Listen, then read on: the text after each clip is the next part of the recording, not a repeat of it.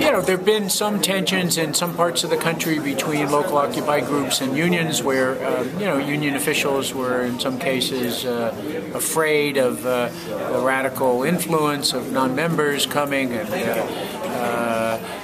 kind of affecting the thinking of their own rank and file. Uh, I think that's actually uh, the kind of threat that we need more of. I mean, the unions uh, are too stodgy, they're too bureaucratic, they're too unwilling to encourage their own members to engage in direct action. Uh, to make decisions more democratically, like the Occupy General Assemblies did. And so I think the whole Occupy model, while very different than a union organization, uh, has elements of it that uh, could be applied to unions to their benefit, and certainly rank and file union members in this country who are part of union democracy and reform struggles, uh, I think have learned a lot from uh, the Occupy movement and uh, are going to carry those Occupy ideas into the institutions that they're part of.